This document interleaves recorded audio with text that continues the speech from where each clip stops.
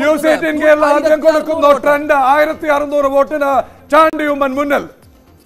അയർകുന്നം പഞ്ചായത്തിലെ പകുതി ബൂത്തുകൾ മാത്രമാണ് എണ്ണിയത്. കഴിഞ്ഞ തവണ അയർകുന്നം പഞ്ചായത്തുകളിലെ ഇരുപത്തിയെട്ട് ബൂത്തുകൾ എണ്ണിയപ്പോഴാണ് ആയിരത്തി ഇരുന്നൂറ്റി തൊണ്ണൂറ്റി മൂന്ന് വോട്ട് ഉമ്മൻചാണ്ടിക്ക് ലഭിച്ചത്. അവിടെ പകുതി. വോട്ടുകൾ എണ്ണിയപ്പോൾ തന്നെ ആയിരത്തി അറുന്നൂറ് വോട്ടുകളിലേക്ക് ഭൂരിപക്ഷത്തിലേക്ക് അല്ലെങ്കിൽ ലീഡിലേക്ക്. ചാണ്ടി ഉമ്മൻ കുതിക്കുന്നു. ട്രെൻഡ് സെറ്റ് ചെയ്തു. സെറ്റ് ചെയ്തു. സെറ്റ് ചെയ്തു കഴിഞ്ഞു. കിരൺ ട്രെൻഡ് സെറ്റ് കഴിഞ്ഞു യു ഡി എഫിന്റെ ആത്മവിശ്വാസം ചാണ്ടി യുമന്റെ ആത്മവിശ്വാസം അത് അതിവേഗം ബഹുദൂരം മുന്നോട്ട് പോകുന്നു. തീർച്ചയായിട്ടും വി ഡി സതീശന്റെയും കോൺഗ്രസിന്റെയും യു ഡി എഫിന്റെയും അവകാശവാദം ഇതാ ഇവിടെ തെളിയുകയാണ്.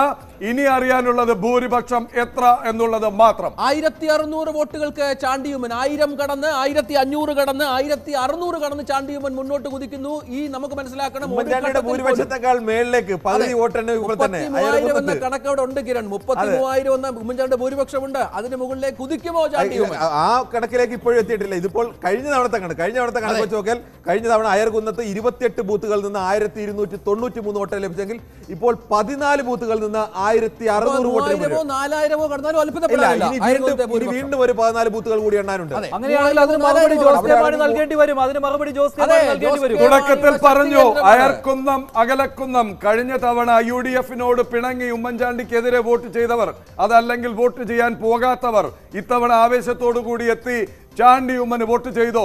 ഉമ്മൻചാണ്ടിയോട് പിണങ്ങിയതിന് പ്രായശ്ചിത്തം ചെയ്തോ കേരള കോൺഗ്രസ് മാണി ഗ്രൂപ്പ് എന്നുള്ളതാണ് ഇവിടെ ലഭിക്കുന്ന സൂചന. അയർക്കുന്നം അകലക്കുന്നം.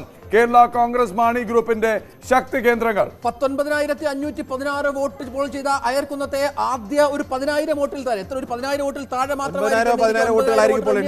ഒപ്പം രണ്ടായിരത്തി അറുന്നൂറോളം അഞ്ഞൂറോളം പോസ്റ്റൽ അല്ലെങ്കിൽ വോട്ടുകളും അതിനൊപ്പം. പോസ്റ്റൽ വോട്ടുകൾ മുഴുവൻ എണ്ണി കഴിഞ്ഞിട്ടില്ല. സമാന്തരമായാണ് ഇപ്പോൾ ഇലക്ട്രോണിക് വോട്ടിംഗ് മെഷീൻ എണ്ണുന്നത്. കാരണം അങ്ങനെ ഒരു തീരുമാനം എടുത്തിരുന്നു പോസ്റ്റൽ വോട്ടുകൾ എണ്ണാൻ വൈകിയാൽ സമാന്തരമായി തന്നെ ഇലക്ട്രോണിക് വോട്ടിംഗ് മെഷീനിൽ എണ്ണാനുള്ള ടേബിളുകളടക്കം അവിടെ ഉണ്ടായിരുന്നു. ആ തരത്തിൽ മുന്നോട്ട് പോകുന്നു. ആയിരത്തി എന്ന വോട്ടിംഗിൽ